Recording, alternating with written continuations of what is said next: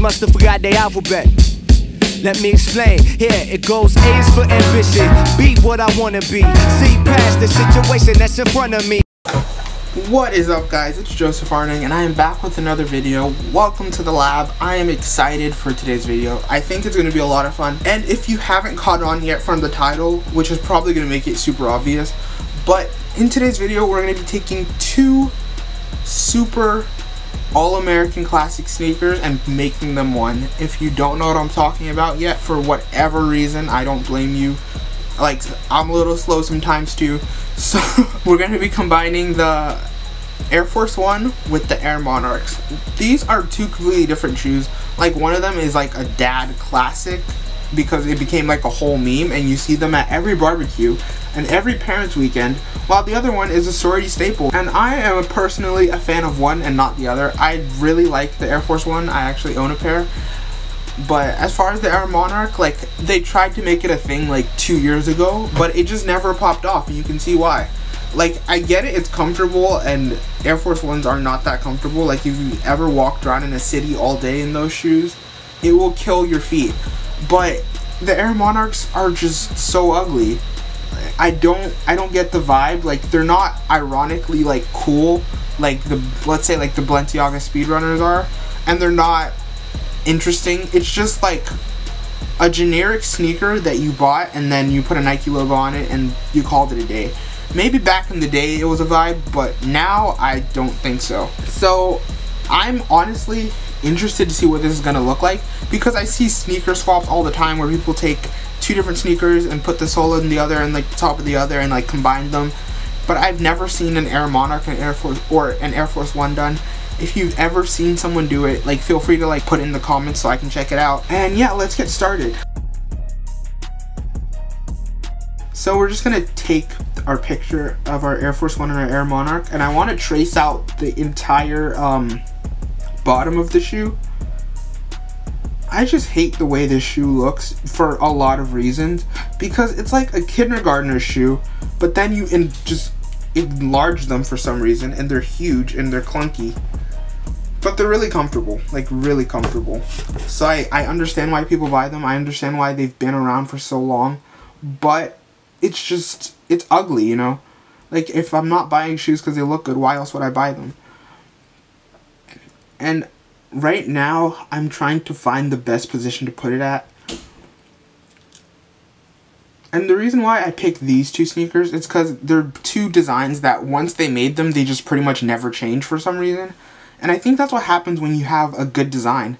It's like, and no matter what year you put them out in, people are going to gravitate towards it. People are going to like it. People are going to purchase your sneaker. So if it's not broke, don't fix it. That's just like one of the things about classic designs, like Chanel their bags have been the same for years and years and years since they came out pretty much.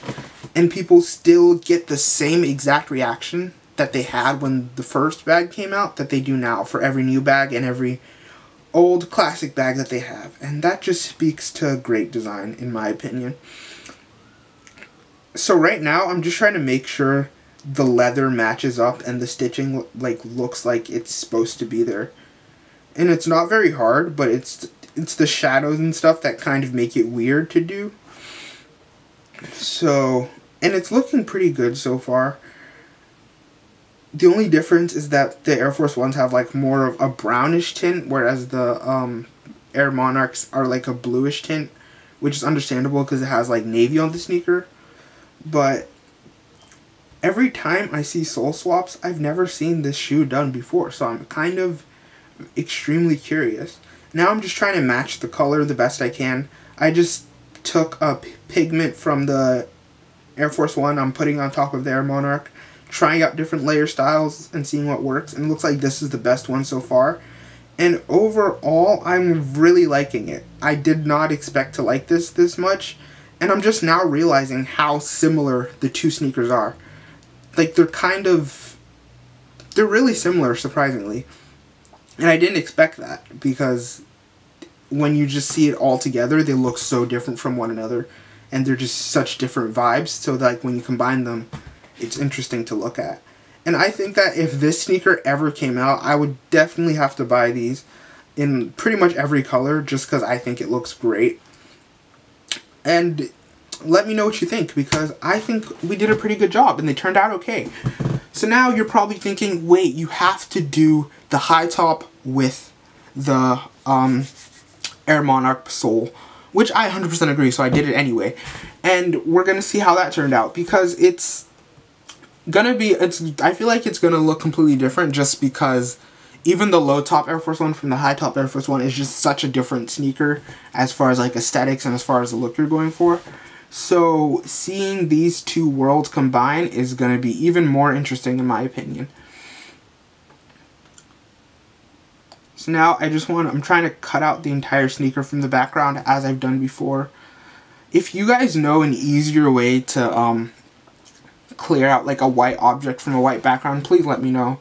Because sometimes you don't get it right and it's hard to see and you're like staring at your computer for a few minutes and nothing's matching up and it wastes a lot of time. So if you know a better, easier way, just feel free to put in the comments. Like I've already told you guys, I'm completely self-taught, completely amateur, and if you are better at design than me and you can give me some advice, I am completely open.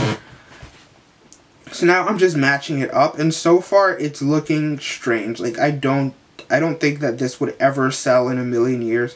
We'll see what it looks like when I blend everything in better and make it actually look like one sneaker. But right now, I kind of hate it. it feels like, you know, when Balenciaga put out that Croc that was like platform. That's the feeling I'm getting from looking at these. Like, it looks like a shoe that doesn't deserve to exist. You know, they accidentally made it. And um, right now, I'm just doing the same as I did the other time, adding the stitching, making sure everything lines up properly, and it looks like somewhat cohesive because it's not going to be perfect because that's just not the type of person I am. Especially since this is just for fun and just for us to like hang out and like do some cool design stuff together. Right now, the final moment of truth. Like the color match changes everything to be honest. Before you match the color, it sometimes doesn't like you don't see the vision. You don't see what's gonna happen. And whoa that looks a lot better than I expected. I am shocked like I would actually buy these. I feel like this is gonna if this really existed, it would be the perfect shoe because Air Force Ones are like more like solid and like chunkier, and you can you can feel the weight of them when you walk, and that's a fact. Like if you deny that, I don't know what to tell you, but it's definitely a heavy sneaker. Whereas Air Monarchs, they feel like you're walking on a cloud. So this is like the perfect like desert boot kind of like sneaker combo that for some reason companies get wrong every time. I just hate this sneaker. Like it looks like a, it looks like a boat. I'm not even gonna like front. It just looks like something you would take out to the sea on a nice Saturday afternoon. It does not look like something you'd put on your feet. So I'm just gonna trace around it for the third and final time, hopefully, and see what kind of vibe we get.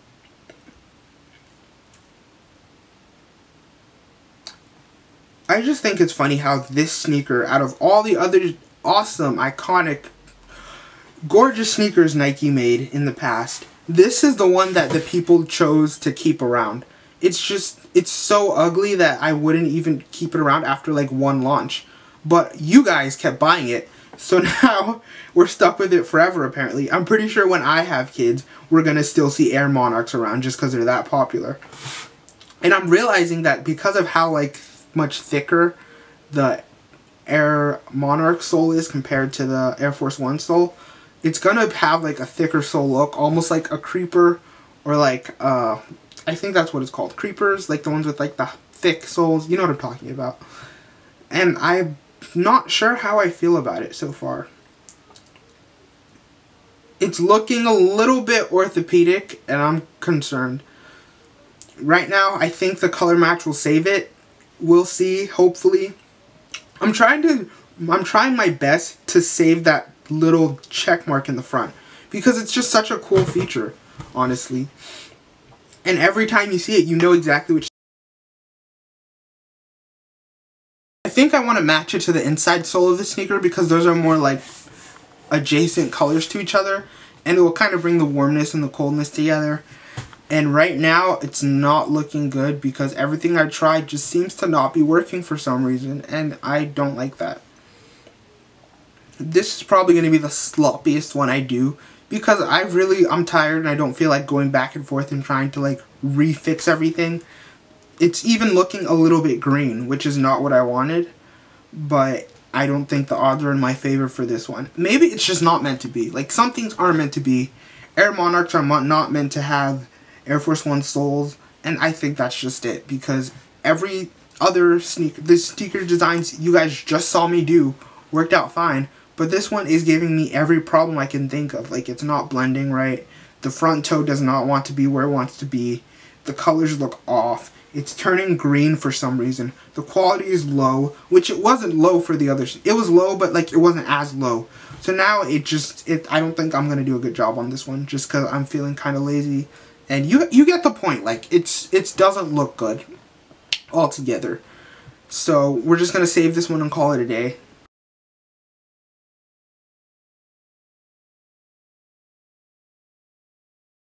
I actually decided to go off camera and fix it because I just couldn't leave it looking the way it was before. It was just, even though this is still kind of sloppy, it was just not good enough for me. I hated it.